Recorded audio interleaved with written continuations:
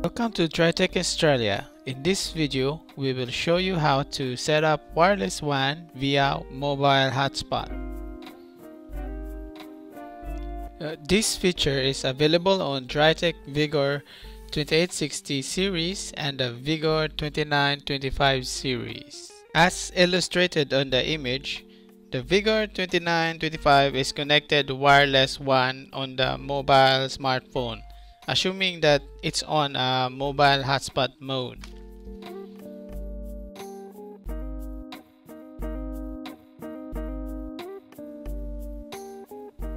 Access the router. Log in the default username admin and the default password admin. Then click login button. On the web management, go to WAN and select General Setup. Under General Setup, select the index 1, 2. On the 1, 2 details page, click the drop-down menu on the physical mode, select wireless. Click OK to apply the current configuration. The router will now reboot.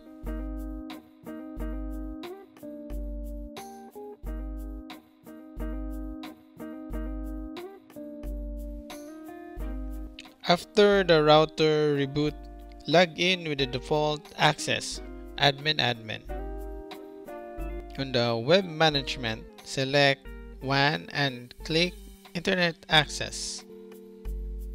In the Internet Access page, click Details page under WAN 2.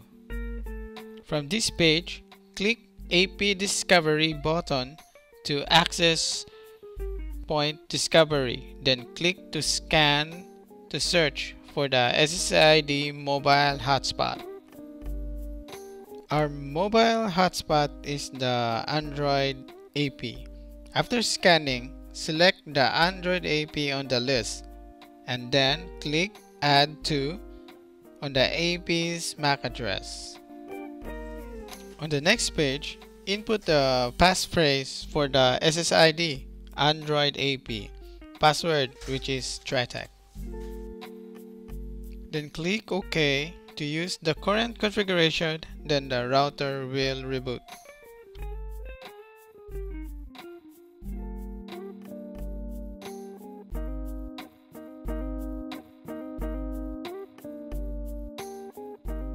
Log in to the router. Once on the web management, select online status then physical connection.